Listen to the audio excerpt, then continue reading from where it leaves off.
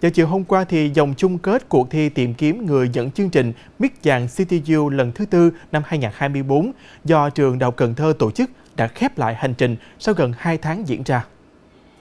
Cuộc thi đã thu hút sự quan tâm và tham gia của đông đảo sinh viên trong toàn trường. Vượt qua hơn 300 thí sinh, 12 thí sinh xuất sắc được ban tổ chức chọn bước tiếp vào vòng chung kết xếp hạng. Tại vòng chung kết, các thí sinh trải qua 3 phần thi gồm thực hiện một video clip với chủ đề về xuân trên quê hương, tự hào là sinh viên Đại học Cần Thơ, ứng xử văn minh trên không gian mạng, sinh viên với hội nhập quốc tế.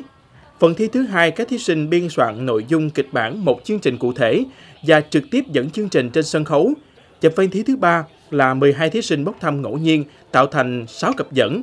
Mỗi cặp sẽ bốc thăm chủ đề kèm theo các yêu cầu từ ban giám khảo và thực hiện dẫn đôi trên sân khấu. Quỳnh Nguyễn Tú Ngân, cô gái đến từ khoa khoa học chính trị K48, đạt giải nhất cuộc thi. Giải nhì thuộc về thí sinh Nguyễn Tuấn Kiệt, Phạm Anh Thư. Thí sinh Nguyễn Thị Thủy Tiên, Nguyễn Thị Thu Giàu và Lê Hoàng Quy đoạt giải ba.